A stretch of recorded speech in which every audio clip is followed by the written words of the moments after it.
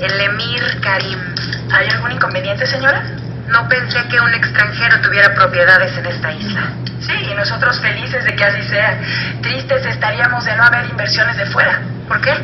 Porque los lugares prosperan con el talento de todos, nacionales y extranjeros. Mm. Pero los extranjeros se llevan las divisas, ¿no? Las divisas van y vienen. Por lo que se refiere al emir Karim, prácticamente las deja aquí, porque aquí se las gasta. ¿Usted lo conoce? No, tengo el gusto. Es un hombre admirable. Como un príncipe, ¿no? ¿Y qué hombre no se siente la gran cosa? Lo que pasa es que no todos tenemos poder y fortuna. Sí, eso debe ser. Bueno, cada día se aprende algo nuevo, ¿no? ¿Y hoy usted qué aprendió? Pues que en verdad son necesarias y convenientes las inversiones extranjeras. No lo dude. Sin menospreciar las nacionales, claro.